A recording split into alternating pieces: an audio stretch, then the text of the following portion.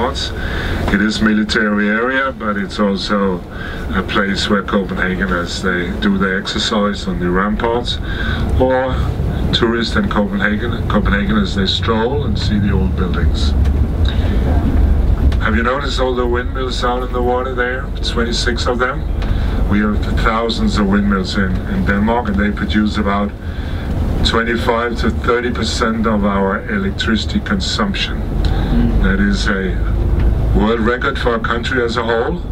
Maybe not for a region, but for a country as a whole, this is uh, this is a record.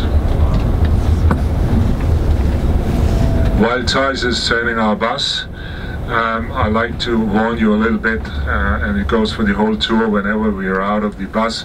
We do have many pickpockets here, so take very good care of your belongings.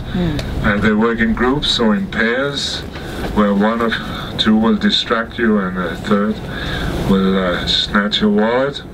And they do it all the time. I had an incident last week also. They didn't succeed, but there was an incident. So um, you can leave on the bus what you don't need. What you don't need, it will be uh, it will be guarded, and the doors will be either locked or overviewed by Thijs while we.